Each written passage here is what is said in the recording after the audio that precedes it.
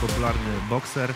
Jest to kolejne ćwiczenie rozgrzewkowe, e, które wykonujemy lekko truchtając i przy okazji wyprowadzamy cios. cios w przód. Możemy to wykonywać w takim tempie, jak robi to Kamil i możemy też to zrobić interwałowo, czyli jak na sygnał e, ruszamy szybciej, jak lasne, ciach, szybciej, ciach. I znowu powoli możemy takich sześć interwałów wykonać. Wtedy mamy końcówkę rozgrzewki załatwioną.